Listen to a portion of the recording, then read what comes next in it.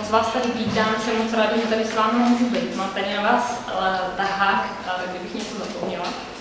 A já jsem z projektu Revýchova, kde pomáháme rodičům a dětem, aby se dokázali na všem domluvit, aby se spolu měli dobře a aby v tom rodinném prostředí spolu mohli růst a mohli být sami sebou, aby si udrželi děti sebevědomí a rodiče si ho třeba i díky dětem rozvíjeli, aby se prostě spolu měli dobře. A, a řekla jsem si dneska, že a, jako tady pro sebe udělám takovou výzvu, že bych chtěla zaměřit to tak, že uděláme takový jako kratičký workshop. A, a rozhodla jsem se, že to stihneme v pěti minutách. tak bych vás prosila, abyste se mnou spolupracovali. Ale ještě předtím vám řeknu, z jakých myšlenek nevýchova vychází a, a potom taky třeba, jaký máme nabídky, co děláme a tak.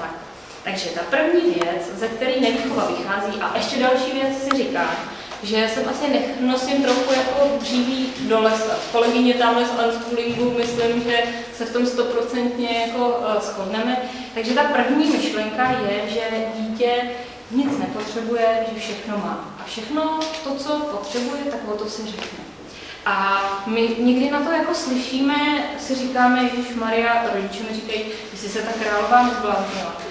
Protože my vycházíme ze dvou takových jako základních uh, přístupů dítěti, které v pedagogice se úplně jako běžně vyskytují. A ten první je, že to dítě je jako nějaký divoký. A když ho nebudeme usměrňovat, když ho nebudeme vychovávat, tak ono nám přeroste přes hlavu, že jo. A rodiče se potom bojí, co jako s tím dítětem, že ono se mi z něj stane kriminální, a nevím co. A druhý, ten přístup je, že to dítě je jako nepopsaná tabule, a to, co do něj nevložíme, to, co ho nenaučíme, tak to se to nebude vědět. No a my vycházíme z toho třetího přístupu a to je to, že dítě už teďko prostě všechno má. A že to, co musíme udělat, je vytvořit mu bezpečný prostředí, ve kterým ono se jako osahává ten svět a zkouší si všechno, co potřebuje, zkouší si sebe a vymezuje se a tak. A to vlastně jako vychází z myšlenky, že dítě je 100% partner. A když říkám stoprocentní, tak myslím fakt stoprocentní. A na všem se spolu můžeme domluvit. Prostě fakt na všem. A možná je důležitý, protože rodiče mi říkají, ale my se s ním domlouváme a potom se ale nedomluvíme, nedostaneme se k tomu, co potřebujeme. A pak, když to rozebíráme, tak přijdeme na to, že to teda jako domluva úplně nebylo. A ta naše definice, ta naše definice domluvy je taková, že já řeknu, co chci a co potřebuju, ty řekneš, co chceš a potřebuješ a společně vymyslíme takové řešení, ve kterém se máme oba dobře. A to je strašně důležitá věc, protože když se v tom máme oba dobře, tak tam podpadá takové ty věci, jako že z něj bude kriminálník a že uh, já se strašně snažím a ono to nefunguje a já jsem úplně přetížená máma a nevím, co s tím. A to bych s vámi chtěla právě vyzkoušet, to partnerství. Jo? My na to máme takovou úplně jednoduchou větu, poučku, dělejme to jako s kamarádkou nebo s kamarádem. Jestli bychom vždycky řekli tomu dítěti to, co říkáme, to, co říkáme, kdybychom přemýšleli o tom, že je to kamarádka nebo kamarád. Jo? A pojďte si to vyzkoušet. Potřebuju, abyste zavřeli oči. A teď si představte, kdo je rodič, tomu to možná bude snadno, kdo není rodič, když si taky zavřete oči. A kdo není rodič, tak si to prostě představte. Jo? Vařili jste půl dne oběd. Přijde tchně. A vaše dítě sedíte u stolu a vaše dítě nechce jíst. A co ještě horšího, vy jste právě zjistili, že si předtím dalo dvě sušenky. Sedíte u toho rodinného stolu, tchýně tam sedí taky, a teď si přehrajte to a tomu dítěti řekne, řeknete.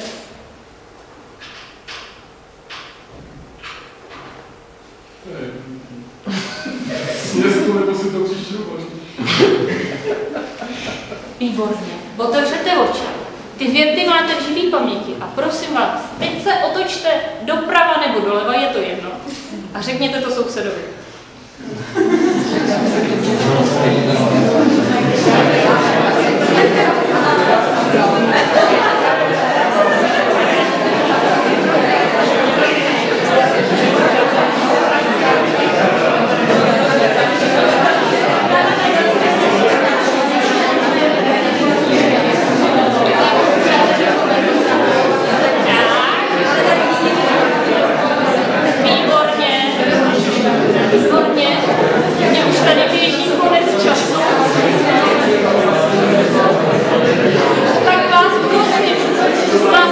Vidíte to? My to nebudeme nijak hodnotit, jenom se podívejte na to, jestli byste to takhle řekli kamarádce, někomu dospělému, anebo jestli to vlastně jako děláme jinak. Ale to dítě je mnohdy jenom o půl metru menší než my. Jo? No a poslední věc, už spěchám. My v nevýchově děláme teď aktuálně tři věci. První je pětitýdenní živý kurz pro rodiče s dětma, aby se naučili to, jak spolu komunikovat, aby to všechno fungovalo, aby se měli fajn. Druhý je online kurz, který startuje 18.11. A třetí je online klub, kde ještě navíc se rodiče spolu potkávají a řeší věci, které je trápí, aby prostě se měli spolu dobře. Tak to je nevýchova, jsem moc ráda, že jste tady byli, že jste mě poslouchali a těším se na konci, eh, že se zase spoustu z vás potkáme. Děkuju.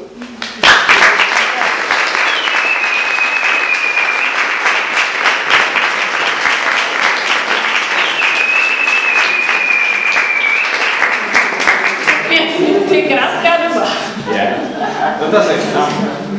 Eh, Já mám syna dneska 18 letého a mám ho celou dobu doma, protože má problémy se svaly. Takže jako výborné řešení, co nám navrhujete, ale to teda časově strašně náročný. Mám to z vlastní zkušenosti. Moje zkušenost je taková, že na začátku je to náročnější, protože když máme prostě vyběhané cestičky, a to neříkám, že tak máte vy, ale třeba v, tý, jako v tom direktivním přístupu k dítěti, tak na začátku je to fakt trošku časově náročnější. Ale já vždycky těm rodičům říkám, vydržte, ono se to jako časem, tím vlastně jako získáte ten čas, protože ta komunikace začne být úplně jiná, začne to fungovat, ale ta vaše situace Já jsem spíš se chtěla, já jsem spíš se chtěla zeptat, do, do jakého věku jako to doporučujete, protože pak ty diskuse jsou na střední škole už jako docela náročný. Psala mi teďko jedna. Katko, děkuju vám. Od teďka se umím bavit se svým mužem.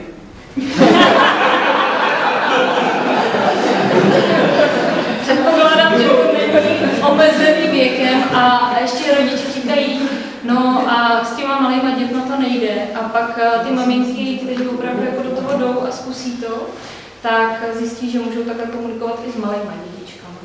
Jo, a že všechno není prostě otázka slov. No. Můžu se taky zeptat, jasně, mě teda telekomunikace i na manžela. Výborně. To je úplně perfektní, ale pro kouk to teda. Ale spíš, spíš vidím problém eh, v tom, že dítko nechce poslouchat, nebo poslouchat. A nedá se s ním domluvit. Snažím se, eh, mám třeba, určitě budete znát knihu od Naomi Albertové, vychovávám, praktikuji, je to super, ale poslední tak měsíc jako dítko mm, nechce, takže musíme odcházet do sluček, ne srandy kopec ze všeho a, a zabírá prostě až to, když řeknu, že odcházím. A to úplně není super řešení, takže na to zrovna se chci zeptat, jak se s tím dětskem domluvit. Podobně, bez stresu. Jo, uh, podle mě je ten trest vždycky jako úplně to nejkrajnější řešení. A uh, na to úplně nedokážu odpovědět teď, protože tu vaši situaci neznám a střílela bych fakt od boku. Ale um, my máme takové jako jednoduché postupy, uh, které jsou ale jenom jako podpora, protože to nejdůležitější je potom jako ta dohoda, ta komunikace. Jo. Ale nevím, jestli vám dokážu teď tady uh, pomoct, nicméně to, co se děje, když potom to jako s těma rodičema rozpřemýšlíme a přijdeme na to, tak se to tam vždycky objeví. A třeba odchody do školky jsme měli teď v kurzu maminku, ta říkala, hele, my prostě půl roku spolu řešíme, že ona do té školky jako nebude. A já jsem se jí teda zeptala, co by potřebovala, jak bychom to udělali společně. A malá říká, maminko, když ty mě furt notíš ty ošklivý kalhoty, a já je nechci nosit. A ona říká, já kdybych se jí nezeptala, já bych na to nikdy nepřišla. A to neříkám, že je váš příklad. Ale já si zrovna dneska vybavu větu typu, já si chci malovat. Jo, To no. si vybavu, ale zrovna jako když máte být někde na čas, tak úplně jako to nejde, mm, tak jako na ní nespěcháš. Jasně. trošičku jako zatlačit. A My jsme se s naším koučkem domlouvali už od dvou let a někdy prostě to dítě potřebuje jako slyšet ten smysl, anebo potřebuje mít nějakou jako přes, představu svoji časovou, která je v tom jeho, v těch jeho možnostech přemýšlení a pak potom to funguje. No. Takže nebojte, nebojte. Děkuji. Já nevím, jestli bude úplně krátký, ale máte uh, zkušenosti s větší skupinkou dětí, příklad prostě škola, kde je 15 dětí a uh, teď každé dítě má prostě jednu chvíli nějakou jinou potřebu, paní učitelka má jinou potřebu, tak uh, jestli už Jo, já jsem nějaké takové zkušenosti. já jsem učila nadané děti a uh, je to zase to, že na začátku to bylo prostě jako trošku těžší. Chvíli nám to trvalo, než jsme se sladili, ale jak jsme si vyběhali ty cestičky, tak už to bylo jednoduché. A, a už jsme věděli, že já, když řeknu klukovi s Aspergerovým syndromem vlíku, nezlob se, já teďko nemůžu, protože já, a neříkám, nesmí se to a tak, ale popisuju to, co já mám, tak uh, jsme se na tom vždycky dohodli. A oni byli skvělí, potom chodili a říkali, a s čím bych vám mohl pomoct, paní učitelko, a tak. Takže jo, ano. Že dařilo se vám i ty různé potřeby dětí, Jo. aby si pak mezi sebou třeba oni už dokázali sladit. Jo, protože oni totiž, když jako dostanou tu kompetenci a tu zodpovědnost, tak oni si uh, jako začnou pomáhat sami a začnou to řešit oni sami za sebe. Takže já teď potřebuju, co můžu udělat pro to, aby. Výborný, díky. Zbytek se nám